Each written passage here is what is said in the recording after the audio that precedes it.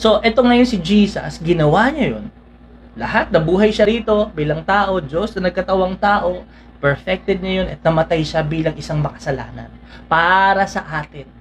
At yung kanyang ginawa sa krus, maging kabayaran ng ating mga kasalanan. At kung mananampalataya ka sa kanya, yung kanyang ginawa, yung kanyang katwiran, yung kanyang pagiging matuwid, ibibigay yun sa atin.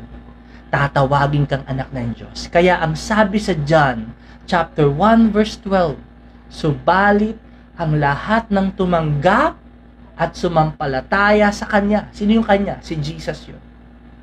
Ay binigyan niya ng karapatang maging mga anak ng Diyos kapag tinanggap mo si Kristo sa buhay mo, kapag nanampalataya ka sa Kanya, magkakaroon ka ng special relationship with God na hindi mo lang kilala ang Diyos. Meron kang malalim, totoong relasyon sa Diyos.